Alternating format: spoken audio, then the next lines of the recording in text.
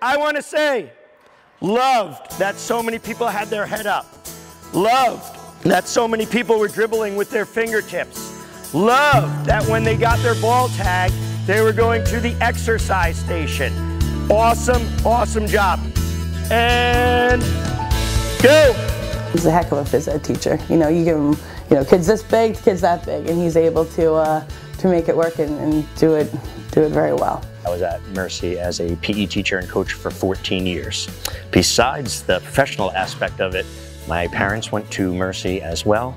They met at Mercy. I met my wife at Mercy, and both my uh, brother and sister attended Mercy as well. I was hoping my children would attend as well. I was in uh, varsity baseball for 12 years, in and out of probably every basketball role uh, for about a good 10 years, as well as strength and conditioning program at Mercy. Now the role that I'm in, I went from the high school to uh, elementary, so I'm K through 8 PE teacher here at the uh, Riverhead Charter School. I'm tired. I'm tired too, just watching you boys and girls. That was a lot of dribbling today. He's dynamic in, in what he does and how he relates to the kids. He has a wealth of knowledge, he studies the game. For me, it was really, um, it was fun to work with him and, and to watch how he got those kids to compete on a, on a daily basis. Eddie is the epitome of what you want as a coach. He wears his heart on his sleeve, he cares, he sets a bar high for all of his teams. He, he knows each and every one of his kids, he knows what works for them. You know, he was able to, to know how hard he could push a kid or what kid he had to kind of handle a little bit differently um, to get the most out of his athletes. We had a meeting called, uh, it was kind of out of the blue, and um, during the meeting they basically said that we were going to shut down at the end of the school year.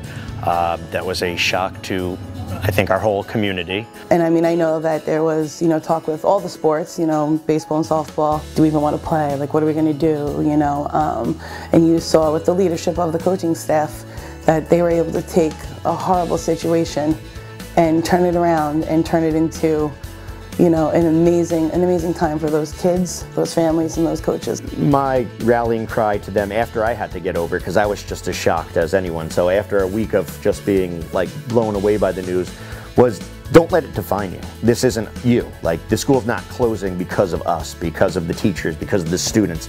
So don't let this moment define who you are. Coach had brought me and my uh, friend Alan, who were the two seniors on the team together, to uh, just kind of make sure that everyone was still in you know, for the season because we really did expect that we were going to do well. And that being said, we wanted to make sure that we could still compete and make this last season with the school as good as we could make it. We were a week or maybe a week and a half into the season when we, the news broke that, that we were no longer going to have a school. Uh, I think it was emotional. Uh, rarely am I emotional, and that kind of bled through the first time uh, talking to the, to the players because it hit me just how many students had come through there the first practice afterwards, uh, Coach Meier and Coach Dorosky had got the whole team together and we said, there's nothing left for us to lose, so let's go out with a bang. Uh, we used baseball as a distraction from that, uh, so kind of, hey, take that energy, hone your craft. What, how can you be a better player today for us? You can't control what's going to happen in two or three months, but you can control your actions for the next three hours. They bought into that, and, and so did the, the staff you know, but to go out every day and put on that, that face and wear that, you know, that pride and that like, okay guys, we got this. You know, we're gonna, we're gonna grow from this, we're gonna learn from this, and we're gonna give it all we have, you know, in our final, in our final at bat. We did make playoffs. I mean, first time I'd ever made playoffs in baseball. It was best season of baseball I've ever played. We knew we could compete and we competed to our fullest extent. The playoffs were the most intense thing I think we've ever been a part of for my 14 years. Every single pitch meant something. Every single hit, every a walk, and the guys were, were screaming from the bench. After, I just remember, we always hugged the seniors. Uh, you know, thanks for everything you've done for us. I remember do, doing that to every single player. The, some moments are just too big to kind of comprehend at that point.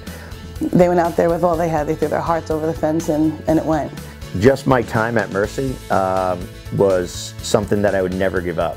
Uh, I mean, I learned a lot. I got in real young, so I learned a lot from that place. I hope the, the young men and women that I had a chance to teach and coach did as well. It was a place that I think shaped a lot of I mean, not only players and students, but teachers as well. It was a community that, that you didn't really get away from without it, it changing you in, in a certain way. And um, for that, I'm grateful because I am a a better teacher from that place and, and coach because of that place than if I had not gone there.